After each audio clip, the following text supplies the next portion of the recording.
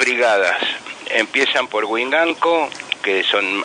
todas las brigadas son generalmente más de 12, después está la de Chosmalal, la de Manzano Amargo, después está la de Junín, la de San Martín, la de Villa Langostura, la de Loncopué, de Corfone, la de Loncopué de Manejo del Fuego también, Corfone también con gente en Abraancha, en Aluminé, en Junín, en Las Ovejas, así que más de 200 personas son las que están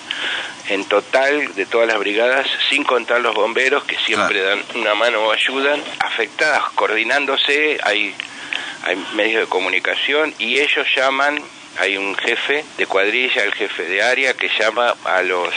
helicópteros, que son dos, y un avión del Plan Nacional de Manejo de Fuego que estarían más afectados a Neuquén. Su base es Bariloche. Así que nosotros, el avión, eh, tenemos que tener pista y, abastecerlo con, con, tanques cisternas. Los helicópteros se abastecen de, de lagunas, arroyos o ríos. Así que es todo más la gente que va por tierra, las camionetas 4x4 con con un equipo que llevan atrás de ataque rápido, que es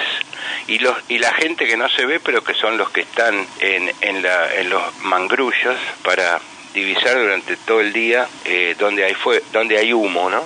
Que esos son los primeros que dan la alerta, en donde hay bosques muy muy grandes implantados, hay todos unos vigías con radio y ante el primer humo ya se va notificando a, las distintas cuadrillas.